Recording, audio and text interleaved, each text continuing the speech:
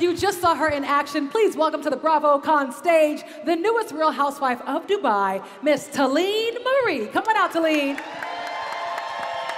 Yes. Hello! Make some noise, come on!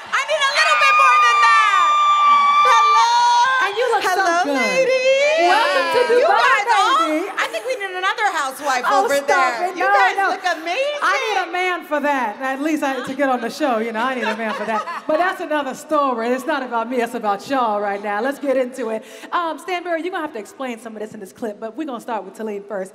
Now, you came on as a friend of Brooks. I gotta ask you, who did she warn you about on the cast? Because you know, Brooks, she will take you to the side. She's been taking me to the side at BravoCon, and she's like, girl. So I know she took you to like the side. her. What did she say, and who did she warn you about on the cast? Look, so coming into this, I think as everybody here knows, you know, first season, Brooks had some drama with a few of the girls who maybe she doesn't have drama with anymore. But the biggest one that she warned me about, I have to say, is. No, not Ayan. It's uh, Miss Caroline Stanbury. I knew it. A hundred percent. That cold little bitch, Stanbury. Sorry, but yeah. I knew. Well, I, well I'm shocked. in the clips, you were talking about how she was spreading it low and dipping it wide and falling all over the place. And you know, you got a little messy in that clip. So my question to you is, be honest, were you actually joking when you talked about Taleen taking a tumble and her legs flying up in the air and her goods were out at the Beyonce concert? Or were you just joking? No, no, I was telling her in a funny way, but it actually happened. Bullshit.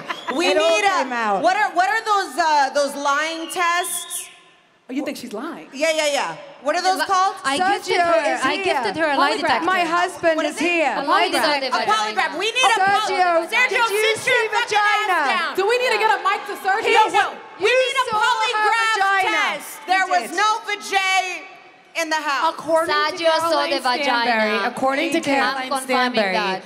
Taleen took a tumble, fell, you know, upside down, and I proceeded to lift her back up, hand her a drink, and we just kept dancing. That's what we do, though, It sounds like it happened. But- Because this is what we do. Oh yeah, I that gotta shit say, happened. Caroline. Yes, it does. And I tumbled, but there was no Wait, vajay. I don't know about the vajay. I Wait, just know. wait, wait, Caroline, wait, wait. Caroline, you did not settle pick this. up Lesa, oh my. God, You guys, spoke to behave. her ass for Wait, five minutes. Caroline, one She spoke to her ass like it was her face.